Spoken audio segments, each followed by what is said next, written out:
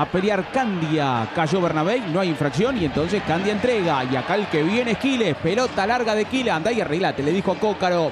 Duda Monetti, duda Monetti, mira Quiles atrás, la regaló, va Cócaro por el primero. Monetti no, Cócaro sí.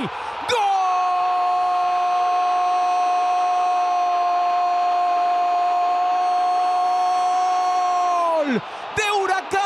Ahí estaba oportunista. El zorro Cócaro dudaron. Braguieri y Monetti quedaron los dos a mitad de camino.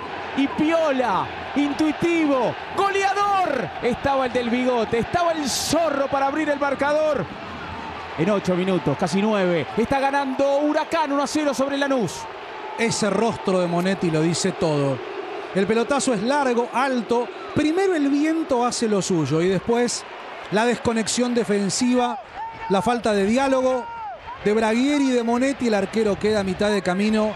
Regla número uno de un goleador, desconfiar.